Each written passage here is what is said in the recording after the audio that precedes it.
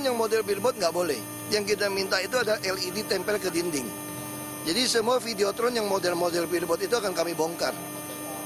Nah, Jadi semua nempel ke gedung Pak ya? nempel ke gedung. Ada kecurigaan sabotase nggak Pak? Nggak, tunggu polisi.